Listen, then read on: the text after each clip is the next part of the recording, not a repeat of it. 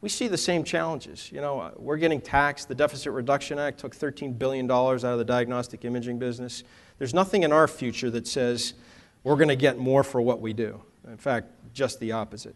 Um, now, there's two ways to play that that's a threat or that's an innovation opportunity. And I, as a leader, believe it's exciting. I'm an optimist about this one. I think now is the time for organizations and leaders to step up and say, we'll innovate, we'll change, and we'll find an opportunity by aligning with healthcare policy and CXO priorities. What are your agendas to solve the cost, quality, and access challenge of healthcare in this fine country of the United States?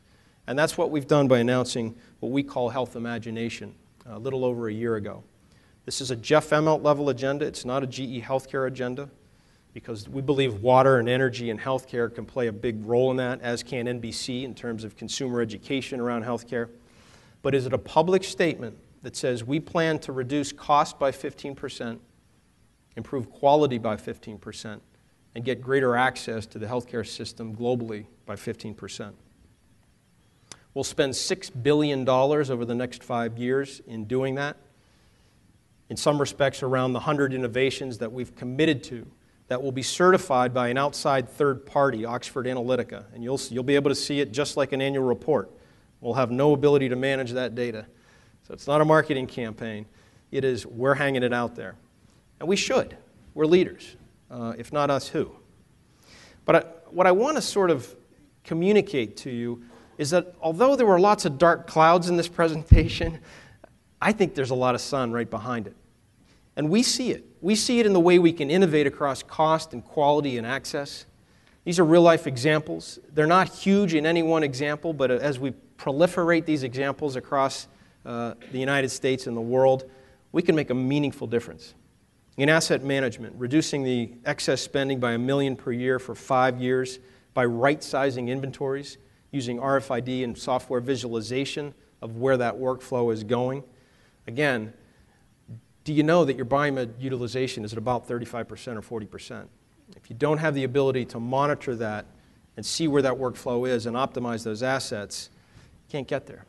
But we've innovated and created that capability in order to get at 15% lower cost in the service side. Efficient hospital design.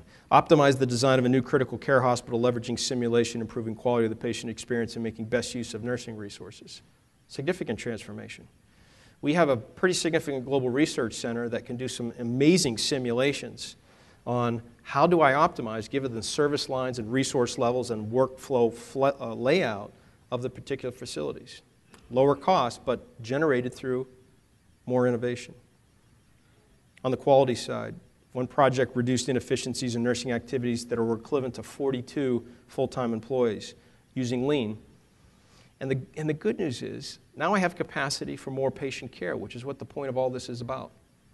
But it was about innovation using tools and aligning with the priorities of the CXO in this particular facility. Safety event reporting, again, we talked about it. We drove a cultural change and implemented tools to dramatically increase reporting of near misses to enable sophisticated medical area root cause analysis. If you don't know where the near misses are, the first time you find out about it is a real event. But that's a cultural change it's a technology to make sure the taxonomy makes reporting simple, and it's building a broad base of near miss data in order to use the disciplines of Six Sigma and other tools to understand what the real root cause requirement is for the fix that's sustainable over time. So quality goes up by 15%. Access, OR optimization. One organization, we unlocked 900 surgeries through a block optimizer and a governance capability around how we manage that OR together between surgeons, administrations, nurses, and others.